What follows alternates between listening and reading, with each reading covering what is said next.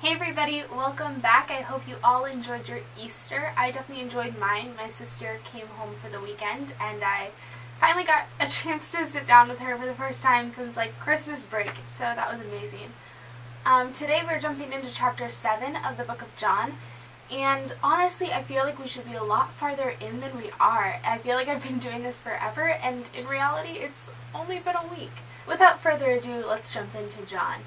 The first verse that stuck out to me was John 7 7. This verse says, The world cannot hate you, but it hates me because I testify that the world is evil. If we testify for Christ, if we stand up against the world, saying that the world and everything that it stands for is evil, the world is going to hate us. Jesus tells us multiple times throughout the Gospels that if we stand with Christ, we are standing against the world. And the world doesn't like that. And I think that's one of the hard things, especially about being in high school and wanting to be open and vocal about your faith, because you know that there are going to be people that are going to be mean and going to be hurtful and not going to appreciate anything that you have to say about Christ. But Jesus warns us that being a Christian is not all fun and games all the time. People are going to hate us, people are going to be mean, people are going to be rude. But we know that in the end, we are standing up for Christ, and we know that He'll stand up for us if we testify for Him.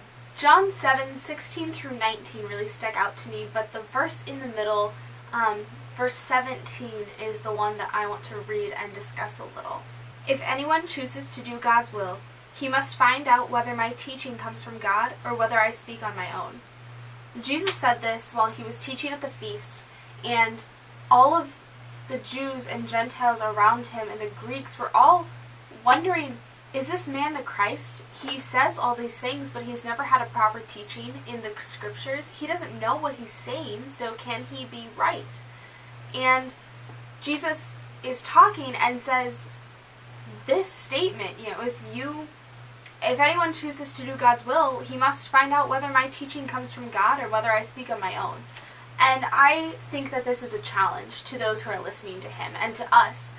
If you think that something that a preacher or um, an online speaker or someone says something that you wonder if it's true about Christ or not, that's when diving into the scriptures and understanding what the Bible says can really help you.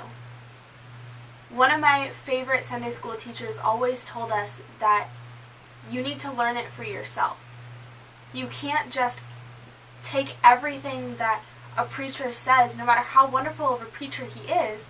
Sometimes in sermons we misspeak, and sometimes we mean to say one thing, but we accidentally say the other thing. And if you take everything that anyone says as truth, but don't know it for yourself, you're not going to be able to defend yourself if something that you learned was wrong. But you have to learn and understand what the Bible says in order to know who Christ is. And it's when we deepen our relationship with Christ and we deepen our understanding in the Word that we fully can understand Jesus' challenge in this message. If you want to believe and if you want to do God's will, you have to understand the difference between what it is God says and what it is someone else might say, try to convince you that that's what God says. As always, please let me know what verses stuck out to you, and I still encourage you to share this with a friend. I really am doing this for everyone and hoping that it lights a fire in one person's heart.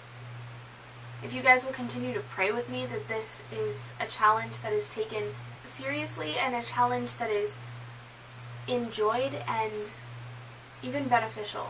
Stay beautiful.